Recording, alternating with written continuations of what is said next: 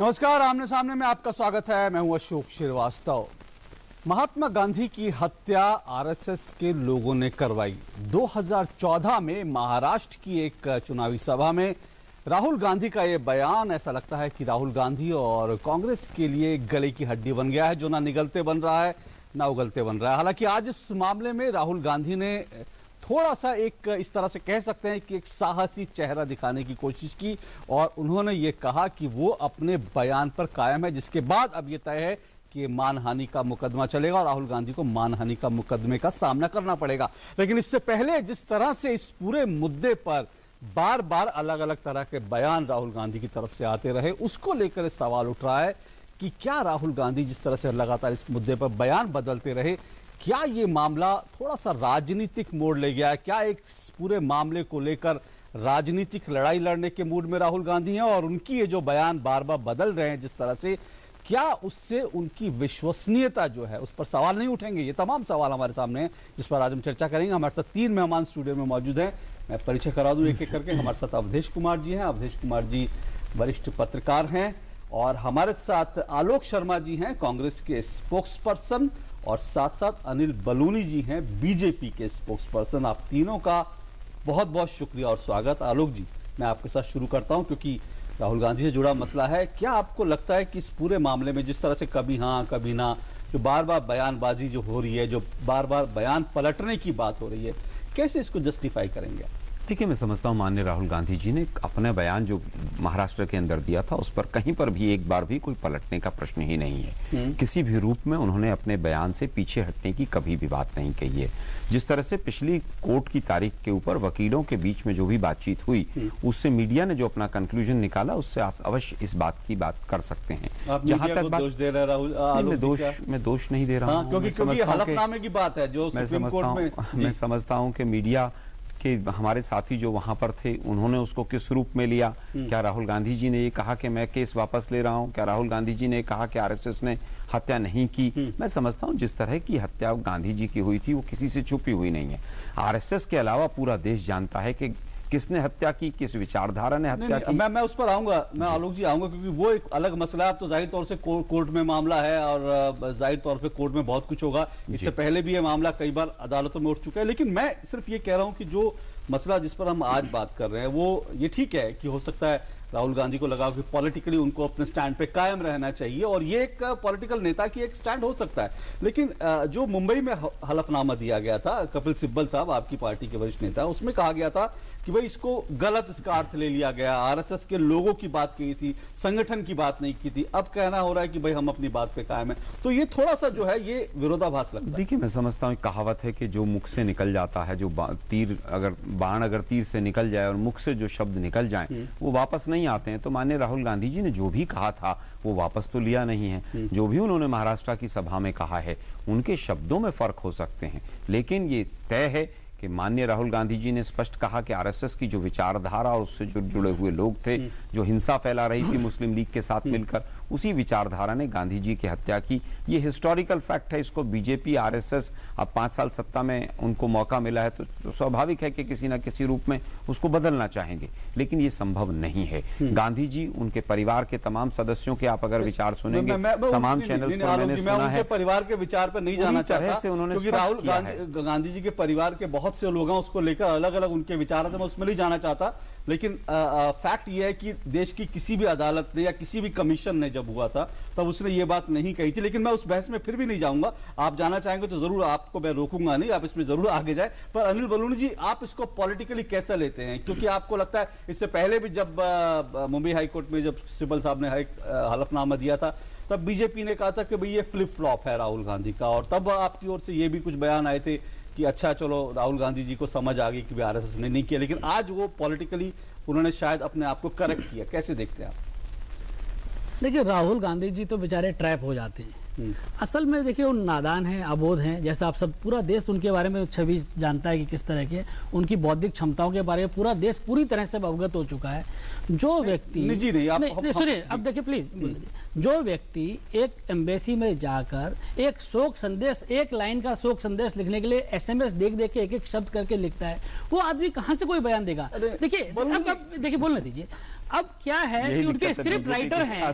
देखिए उनके कभी भी आइडियोलॉजी पे मुद्दे पे बात नहीं करती है व्यक्तिगत हमने तो किसी के पीछे। बोल रहे नहीं देखिए आलोक जी बोलने दीजिए अगर आपको आपको मेरी बात से कहीं पर कोई आपत्ति होगी तो बताइएगा। मैंने तो कहा जो दोस्त जो पूरा देश मानता है कि राहुल गांधी जी के बारे में पूरे देश को उनकी छवि के बारे में उनकी बौद्धिक क्षमताओं के बारे में अवगत है। जो व्यक्ति एक लाइन नहीं लिख सकता उसके बारे में कहा वो तो स्क्रिप्ट राइटर हैं और स्क्रिप्ट राइटर राइटर स्क्रिप्ट लिख के देते हैं वो बोल देते हैं। अब उन्होंने बोला उसके बाद अब बेचारे फंस गए उसके बाद जब कोर्ट का डंडा पड़ा तो उन्होंने जाके बोला नहीं नहीं मैंने ऐसे नहीं कहा था। उसके बाद आज आज उन्होंने करेक्ट किया ना अपने आप इसीलिए कह रहा हूँ ना हाँ, देखिए हाँ। उनको तो बेचारे जैसा बताया जाता है वैसा वो करते रहते हैं। अब आज उनको बताया कि नहीं नहीं अब अड़ जाइए तो अड़ गए। देखिए सीधी बात है आपने कहा है माननीय सुप्रीम कोर्ट ने क्या कहा? अगर आपने कहा है तो आप सिद्ध कीजिए वो न क्षमा मांगिए और सजा भुगतने के लिए तैयार रहिए। इसमें कहाँ दिक्कत है? अगर राहुल गांधी इसको प्रूव करे बहुत सारे कमीशन बैठ चुके हैं कोर्ट की इंक्वायरी है सब चीज़ है।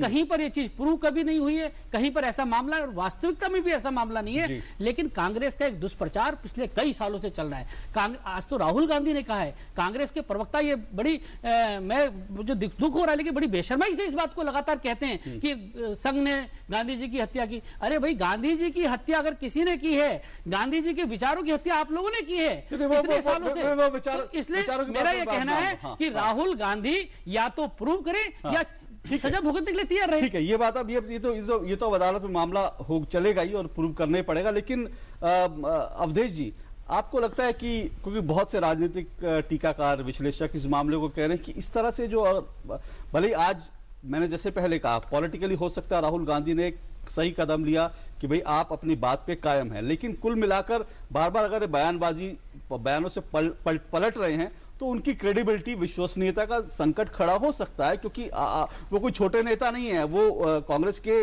उपाध्यक्ष हैं और सीधा सीधा देश के प्रधानमंत्री बनने के दावेदार हैं। नहीं आपको तो ये भी लगता है मान लीजिए आपने कहा कि उन्होंने शायद अपने को पॉलिटिकली करेक्ट किया है। मैं मानता हूँ करेक्ट नहीं किया है। देखिए ये जो बयान है उनका ये बयान है 6 मार्च 2015 का। जी। उठाने ज़िले में एक रैली थी। 2014 नहीं 2015 हाँ, 6 अच्छा, मार्च जी, 6 मार्च जी, 2015 जी, जी, जी। थाने ज़िले के सोनाले की सोनाले हाँ, के विधानसभा, हाँ विधानसभा चुनाव के समय। हम्म। तो वो जो समय था वो लोकसभा चुनाव का करीब अ, मिला करके नौ महीने करीब हुए थे। विधानसभा चुनाव उनको जाना था। कांग्रेस को एक एक वैचारिक रूप से दिखाना था कि भारतीय जनता पार्टी से वैचारिक रूप से हम कैसे भिन्न हैं। और देश को दो विचार में से एक को चुनना है।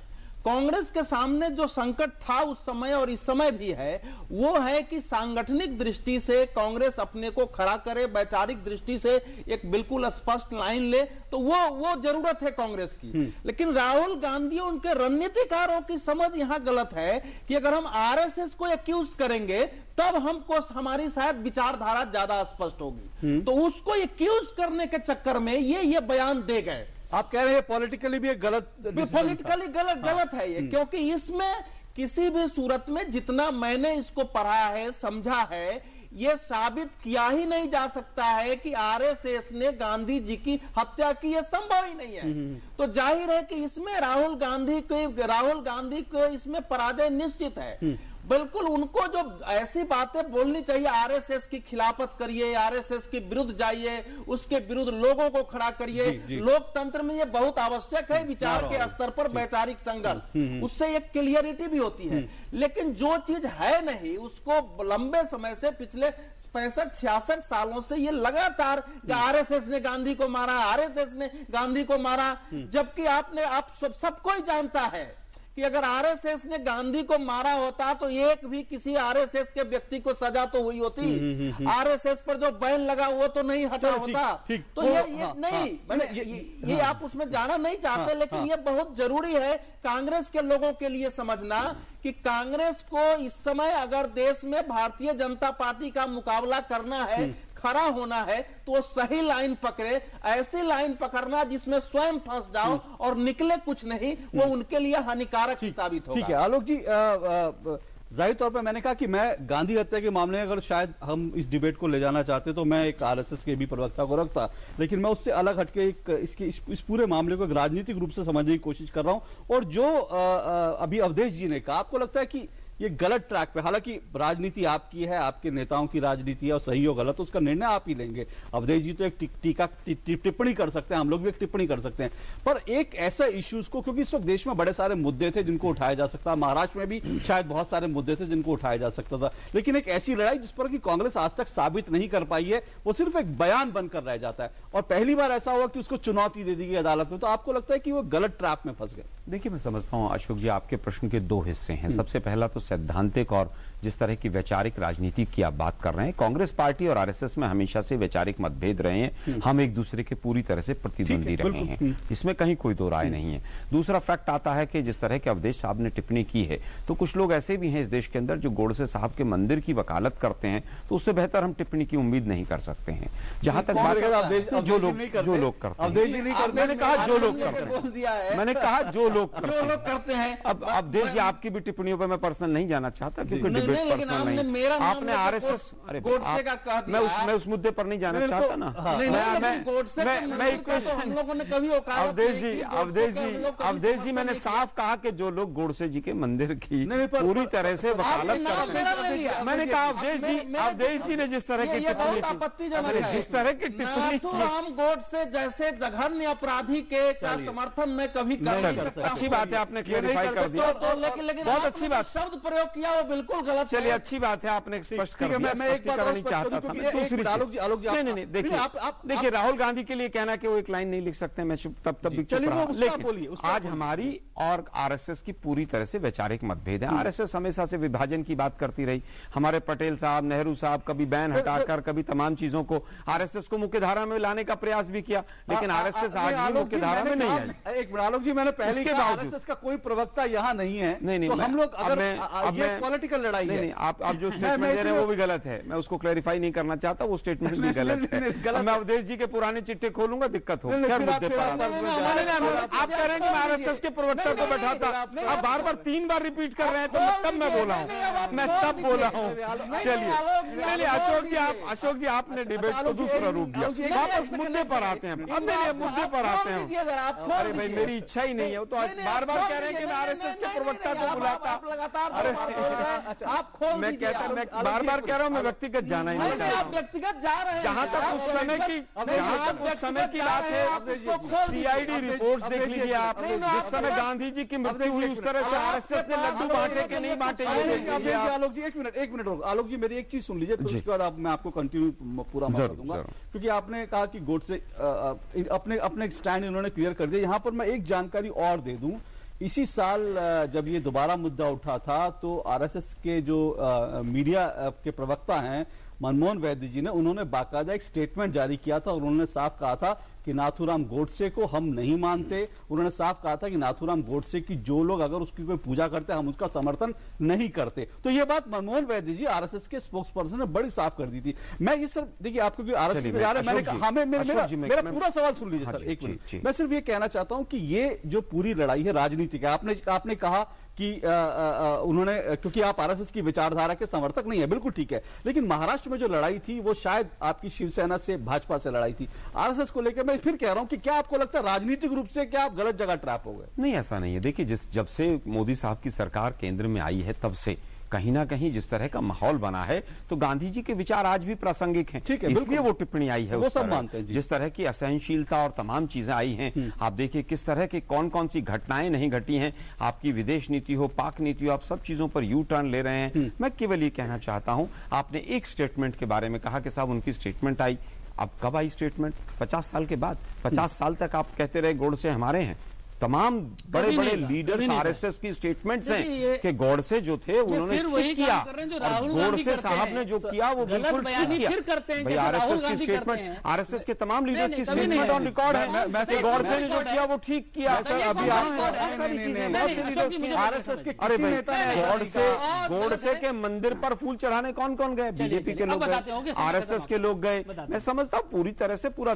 बीजेपी का कोई नेता गया था क्या जो जो इन्होंने आरोप लगाया अरे भाई उनको उनको अगर हटाना ऐसा अगर गुजरात अगर ये आरोप आप लगा रहे गुजरात आप ये कह रहे हैं गुजरात के ऑफ़िस भी एरर थे उनको हटाना पड़ा। ये कह रहे हैं नेता नाथुराम गोडसे के मंदिर पर गए थे क्या? किसने बनाया? अरे बनाया ही उन्होंने था बताइए नहीं तो। हो गया आपका समय जी बिल्कुल बताएँ आप जरा। देखिए ये ये पार्टी दिग्भ्रमित पार्टी है। जैसे राहुल गांधी है। वैसे आप बताइए ना, बीजेपी का प्रचार गया था, गौड़ा मंदिर तो नहीं गया। नहीं नहीं ये जो कह रहे हैं उसने अपने खेत में मंदिर बनाया वो बीजेपी का आदमी था। नहीं था? अभी दुष्प्रचार बंद कर दीजिए। ये सरकार के काम काज कामकाज से इतने डरे हुए हैं भयभीत हैं आप लोग। देखिए कभी भारतीय जनता पार्टी ने कभी भी गौडसे का समर्थन नहीं किया। हम लोग किसी भी तरह की हिंसा का हर वक्त सदैव विरोध करते रहे। कभी किसी मंदिर की बात दूर हम इस तरह की कल्पना नहीं कर सकते। यही दुष्प्रचार हमारे खिलाफ लगातार चल रहा है। तो मुझे एक चीज़ बताइए। नहीं मेरा एक सवाल है कांग्रेस के प्रवक्ता मुस्लिम लीग सुनिए भैया मुस्लिम लीग के एक सिक्के के सरकार चलाई है आप लोगों ने किन किन के साथ? केरल में चर्चा हमने तो बैन भी अच्छा, हटाने का प्रयास किया। मुख्य धारा में आ जाए। अशोक जी लेकिन आरएसएस सवाल मुख्य है धारा में कांग्रेस नहीं के आई प्रवक्ता से। कि क्या राहुल गांधी ठीक है या जवाहरलाल नेहरू ठीक है ये तय कर ले। मैं बताता हूँ। जवाहरलाल नेहरू ने नहीं सुनिए अब मुझे बोले दीजिए भैया ऐसे मत कीजिए। जवाहरलाल नेहरू ने राष्ट्रीय स्वयंसेवक संघ को कहा कि ये ये ऐसा संगठन है कि इस संगठन को 26 जनवरी की परेड में आना चाहिए। कहा कि नहीं कहा? क्या राहुल गांधी निकले भी थे परेड परेड। में शामिल। मैं बताता उसका उत्तर दे रहा। आए थे और पैंतालीस सौ दो दिन के समय में साढ़े चार हज़ार संघ के स्वयंसेवक परेड में शामिल हुए थे। बाकी लोगों को तो कितना कितना समय लगता है परेड की तैयारी के लिए? दो दिन की तैयारी में आए। क्या जवाहरलाल नेहरू ठीक कहते थे? राहुल गांधी ये कृपया करके मुझे चले, मैं मैं इस प्र- आलोक जी एक मिनट क्योंकि वक्त एक छोटे से ब्रेक के आमने सामने में चर्चा थोड़ी गर्मा गई है। इस चर्चा को आगे बढ़ाऊँगा लेकिन छोटे से ब्रेक के बाद। These days, it's important to have an updated resume. Here's mine. Praful Kumar, Major Praful Kumar, Para Special Forces. Three years served in a hostile zone. Tough assignment. Special service in J&K. Made some friends there. Combat free fall specialist. Willing to shed blood. As you can see, I wear my heart on my sleeve and my resume on my uniform. Which other company lets you do that? We are India's most exciting workplace and we are making you an offer. The Indian Army. Live a life less ordinary. बच्चों, जवाब ठीक से देना और सफ़ाई के दस number होंगे। चौकी मत। डेंगू और चिकुनगुनिया से बचने के लिए ये ज़रूरी है। आसपास पानी जमा न होने दें। ड्रम, कूलर, गमले को हर सप्ताह साफ़ करें। प्लास्टिक के कप व नारियल की खोल जैसी चीज़ों को इधर उधर न फेंकें। क्योंकि डेंगू और चिकुनगुनिया का मच्छर साफ़ पानी में पनपता है। मच्छरों के काटने से बचें। बुखार में पैरासीटामोल लें एस्प्रिन हरगिज न ले। इस बार तो बच्चों ने हमें ही पास कर दिया। और सफ़ाई के नंबर सौ में से सौ। हाँ।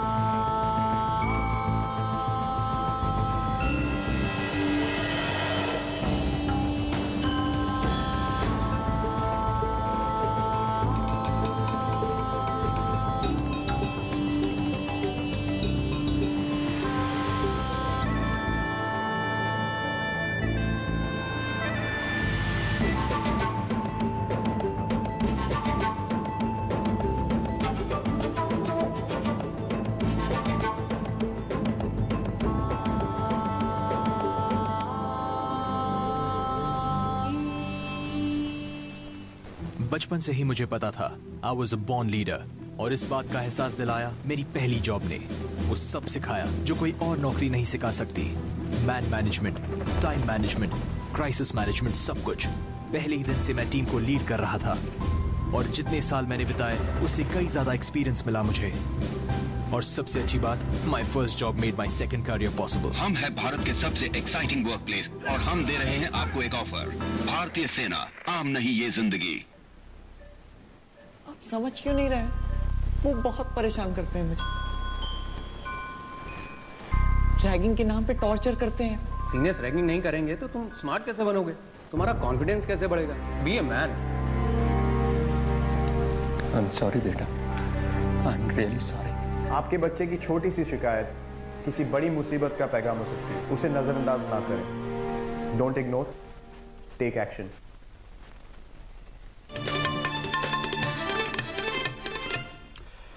आमने सामने में आपका एक बार फिर स्वागत है। तो महात्मा गांधी की हत्या को लेकर राहुल गांधी ने जो महाराष्ट्र की एक चुनावी सभा में 2015 में जो बयान दिया था, उसको लेकर हम बात कर रहे हैं, क्योंकि उस पर राहुल गांधी के बयान कई बार ऐसा लग रहा है कि बार बार वो बयान बदल रहे हैं। हालाँकि कांग्रेस इस बात को नहीं मान रही है। इसी पर हम चर्चा कर रहे हैं कि इस बयानबाजी का दरअसल क्या मायने हैं और क्या ये बयानबाजी जो कुछ हो रही है, फ़िलहाल राजनीतिक फ़ायदे के लिए हो रही है, क्या इन सब पर हम चर्चा कर रहे हैं। हमारे साथ अवधेश कुमार जी वरिष्ठ पत्रकार मौजूद हैं। हमारे साथ कांग्रेस के स्पोक्स पर्सन आलोक शर्मा जी हैं और बीजेपी से हमारे साथ अनिल बलूनी जी हैं। हालाँकि मैं इसमें नहीं जाना चाहता था आरएसएस के मामले में, लेकिन क्योंकि मैंने पहले ही कहा कि आरएसएस का स्पोक्स पर्सन नहीं है लेकिन क्योंकि एक सवाल बलूनी जी की तरफ़ से आया इसलिए आलोक जी मैं चाहूँगा कि आप उस पर लेकिन मेरा है। सर टर्न आपको दे रहा हूँ। आपको दे रहा हूँ। ये लोग बार-बार बोल चुके हैं। आपको आपको मौका केवल ये। कहना आपका मौका दे रहा हूँ। एक मिनट क्योंकि सवाल बीजेपी की तरफ़ से हमेशा से एक ढाल बनाकर पंडित नेहरू जी उन्होंने परेड में शामिल किया आरएसएस को और हमारे पटेल साहब ने जिस तरह से बैन को हटाया गृह मंत्री रहते हुए उसको ढाल बनाया जाता है। देखिए पटेल साहब और पंडित नेहरू स्वतंत्रता आंदोलन से निकले हुए लीडर्स थे।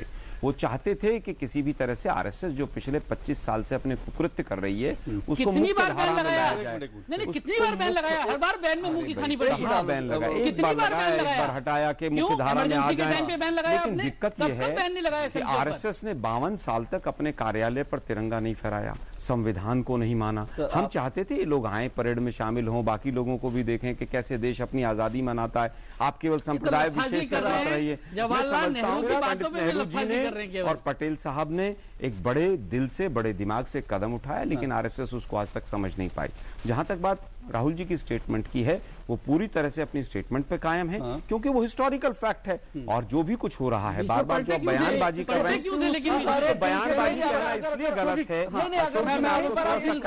चाहूँगा सुप्रीम कोर्ट के अंदर न्यायालय के अंदर विचाराधीन? मामला है और तो है। न्यायालय के अंदर एक मामला जाने तो के बाद अगर उसको सुप्रीम डीडी न्यूज़ बयानबाजी कहे तो ये संदेह के घेरे में आता है तो वो बयानबाजी नहीं है? स्टेटमेंट है और हम उस स्टेटमेंट के साथ खड़े हुए हैं मेरा सवाल है राहुल गांधी सुप्रीम कोर्ट क्यों गए अगर आप बात पे अड़े थे हलफनामा दिया उस हलफनामे में ये कहा कि जिस संघ कार्यकर्ता ने शिकायत की उसने गलत बयान की गलत व्याख्या कर ली। ये कहा कि आरएसएस के लोगों को गांधी की हत्या का आरएसएस से जुड़े कुछ लोगों को कहा संगठन को नहीं कहा।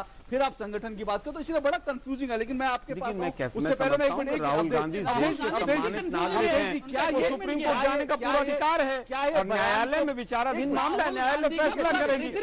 है। बयान के हम उसको बयानबाजी कहें ये गलत है। क्या न्यायालय का अपमान क्या ये क्या ये बयानों को बदलना नहीं और अभी आलोक जी ने जो बात की हालाँकि मैं फिर बार बार कह रहा हूँ मैं उस इतिहास में नहीं जाना चाह रहा था लेकिन आपको लग रहा है कि इतिहास की भी गलत व्याख्या हो रही है बार बार इस मामले में? देखिए ऐसा है कि इसको अब इस समय तो अब मामला न्यायालय में चला गया उसको छोड़ दीजिए न्यायालय क्या फैसला करेगी हाँ। लेकिन कांग्रेस में आलोक जी का के बयान से मुझे बहुत निराशा हुई है। आलोक जी जैसे ये तो कांग्रेस में कोई भी प्रवक्ता राहुल गांधी जो बोल देंगे उसके परे नहीं जाएगा ये बिल्कुल साफ़ है। ठीक है, वो वो गलत बोले सही बोले उनके साथ खड़ा होगा। या दूसरी पार्टी तो का दूसरी पार्टी- का नेता भी अगर बोलेगा तो उस पर खड़ा होगा।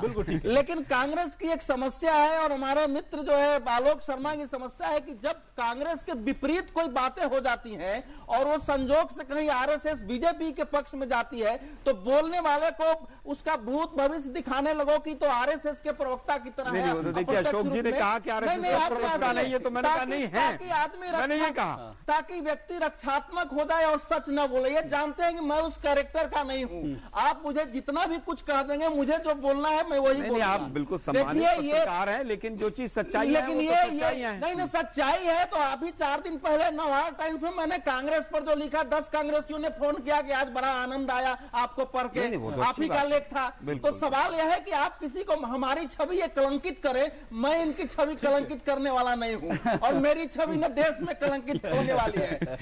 कांग्रेस ऐसी इच्छा नहीं है किसी की छवि कलंकित नेहरू जी और पटेल ये दोनों इतने महान पुरुष थे कि मैं कोई प्रश्न नहीं उठा सकता। लेकिन अगर उदार उदारता उन्होंने अगर आरएसएस के साथ बढ़ती तो गांधी जी तो नहीं चाहते थे कि उनके हत्यारों को फांसी की सजा हो। तो अगर उतना ही उदारता बरतनी थी तो आपने नाथूराम गोडसे के साथ क्यों नहीं बढ़ता तो न्यायालय का तो फैसला था, कोई कांग्रेस का फैसला नहीं न्यायालय था। था, लेकिन न्यायालय का फैसला। एक मिनट राष्ट्रपति क्षमा कर सकता था भाई जो क्राइम आप चाहते थे मतलब गांधी जी का आप चाहते थे गांधी जी के हत्यारे को राष्ट्रपति माफ़ कर देते। मैं कह रहा हूँ कि तो आपने सिद्ध कर दिया जो मैंने कहा था। एक्टिविटी में शामिल होने वाले संगठन या व्यक्ति आप चाहते थे गौर से- नहीं बरत नहीं, तो सकता है। है। अगर नेहरू जी तो ब्रेकिंग नहीं, है अवधेश जी कह रहे हैं कि जी गौडसे को राष्ट्रपति महोदय माफ़ कर सकते हम- लोग- नेहरू और पटेल कोई भी कोई भी बहुत संक्षेप, जी, देखिए कोई नहीं, नहीं, भी- अवधेश जी चाहते थे भी माफ़ करवा दिया जाता है। क्रिमिनल एक्टिविटी यही की सोच थी, एक्टिविटी में शामिल होगा उसको आप आप क्यों चाहते थे? आलोक जी आलोक जी एक मिनट एक मिनट एक मिनट एक मिनट। अवधेश जी अवधेश जी अवधेश जी आलोक जी अवधेश जी अवधेश जी एक मिनट आलोक जी। आलोक जी बहुत सीधा सवाल मैं आपसे मेरे पास समय नहीं है। मेरे पास मेरे मेरे पास मेरे पास लेकिन बहुत एक मिनट लेकिन लेकिन लेकिन अवधेश जी अवधेश जी अवधेश जी एक मिनट अवधेश जी अवधेश जी अवधेश अवधेश जी प्लीज़ मेरे मुझे मुझे मुझे मुझे मुझे कार्यक्रम मुझे मुझे मुझे मुझे कार्य मुझे सुनिए आप बलूनी जी मुझे लग रहा है बहस मुझे लग रहा है बहस को भटका मुझे मुझे लग रहा है बहस को भटकाने की कोशिश हो रही है। मुझे लगता है सीधा सीधा इस मामले में अब क्या लगता है आपको कि अब ये मामला अदालत में चलेगा तो आप भी अब ज़ाहिर तौर पर यह मामले को आपको लगता है कि अब ये एक आखिरी बार जो है, ये मामला, क्योंकि आरोप बार बार लगते रहे, हर हर बार, हर कांग्रेस के नेता आप खुद कह रहे कि लगाते रहे। आपको लगता है अब जबकि अदालत में ये एक बार में सेटल हो जाना चाहिए? देखिए अशोक जी समस्या क्या है? जिस तरह से हमारी सरकार काम कर रही है पूरी कांग्रेस पूरी तरह से बौखलाई भी है और उल जलूर आरोप लगाए जाते हैं। देखिए हमारे ऊपर दाल 10 रुपए नहीं, किलो कर दिया हमारे ऊपर क्या क्या आरोप लगाए जाते हैं? कभी कहते थे सूट बूट की सरकार है। जब वो नहीं चला। उसके बाद कहा जा किसान विरोधी है। हमने किसानों के लिए काम करके दिखाए। उसके बाद इन्होंने कहा कि उसके बाद इन्होंने असहिष्णुता इन लोगों ने कुछ अपने चुनिंदा खरीद जो। खरीदे हुए लोग हैं उनसे अवार्ड वापसी शुरू करा दी। तो ये पूरी तरह से हमको कहीं ना कहीं डिरेल करना चाहते हैं सरकार के कामों को और इस तरह की हरकत करते रहेंगे। लेकिन हमने तो भारत भारत को विश्व गुरु बनाना है। हम उसको काम करेंगे। अशोक जी ठीक, मैं ठीक, एक बात कहना चाहता हूँ। जी, प्लीज़ बहुत संक्षेप में, एक बात कहना चाहता बहुत संक्षेप है समय नहीं है मुझे जी जी वाइंड अप जो करना है। राष्ट्रीय स्वयंसेवक संघ जिस तरह के काम पूरे देश में कर रहा है कांग्रेस और कांग्रेस के नेता तो सोच नहीं सकते। जिस तरह से मलिन बस्तियों मलिन बस्तियों में काम कर रहा जो है दबे कुचले लोगों के लिए काम कर रहा है कुछ रोगियों के लिए काम कर रहा है। देखिए लेकिन हाँ। मैं कहता हूँ ये देखिए ये कांग्रेस जो है ये कांग्रेस वाली कांग्रेस नहीं है। जो आज़ाद अवधेश जी ये कांग्रेस सत्य क्या था? जी जी जी। अवधेश जी एक मिनट। ये कांग्रेस देखिए ये कांग्रेस वो कांग्रेस नहीं है। सबने पूरे देश ने बच्चे बच्चे ने आज़ादी की लड़ाई उस कांग्रेस के झंडे तले लड़ी। है। ना ये वो ये नकली कांग्रेस है और ये गांधी भी नकली है। है, है, ये महात्मा गांधी से कहीं गांधी है। नकली गांधी नकली कांग्रेस मामले पे इस मामले पे जो बहस है वो बहुत हुई है लेकिन अभी लगता है क्योंकि मामला अब सुप्रीम कोर्ट में जा चुका है। माफ़ कीजिएगा मामला सुप्रीम कोर्ट से जो है अब इस मामले को कह दिया गया कि इस पर अदालती लड़ाई होगी। तो अब देखते हैं, उम्मीद ये करेंगे कि इस तरह के आरोपों की राजनीति जो है, वो इस तरह से नहीं हो। शायद इस मामले में कोई एक, कह सकते हैं, ऐतिहासिक फैसला है या एक, इस मामले में कोई एक, निर्णायक फैसला आ जाएगा तो शायद ज़्यादा बेहतर हो कम से कम आरोपी की राजनीति बंद होगी। बहुत बहुत शुक्रिया आप तीनों का। और आमने सामने में फ़िलहाल इतना ही। इजाज़त दीजिए। नमस्कार।